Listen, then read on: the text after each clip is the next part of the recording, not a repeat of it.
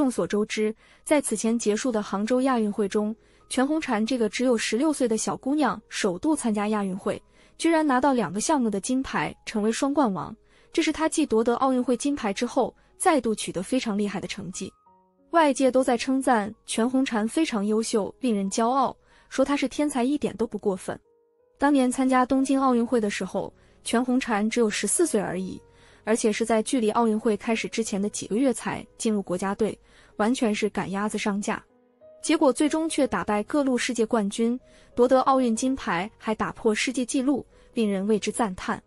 随着全红婵一战成名后，对于很多粉丝、很多网友来说，当然期待中国跳水队能够涌现出更加多优秀的人才，将来可以有更多的天才可以接班全红婵。而就在最近，从媒体报道的消息来看，我们还真的看到了全红婵的接班人。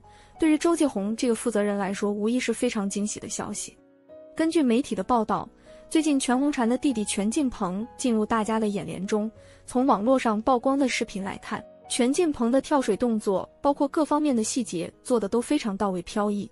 入水的水花就好像一条小泥鳅掉进水里面一样，基本上没有任何的水花动作，非常漂亮。很多人从弟弟的身上看到红姐当年的影子，大家都觉得全进鹏应该一位跳水奇才。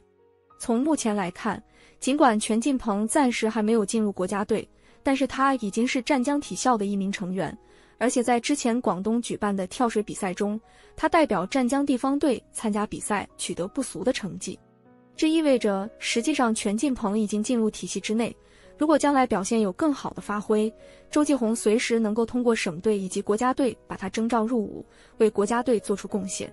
看到这一点，相信很多关心全红婵的粉丝都会为之振奋，感叹他们祖传的水花消失术基因确实非常强大。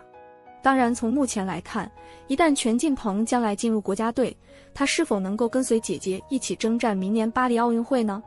从年龄上来看，这种可能性应该不大。因为他的弟弟今年只有十二岁，到明年只有十三岁而已，这个年纪不符合参加奥运会的年龄。这意味着，即便全进鹏今年有机会进入国家队，后续基本上没有机会出战巴黎奥运会。当然，其实根本不用着急，他还如此年轻。如果将来真的有机会进入国家队，即便征战下一届奥运会，年龄也非常年轻，大把机会大展宏图。关键是，他现在先把技术练好。等到将来真的有机会为国争光，相信他肯定能够有更好的表现。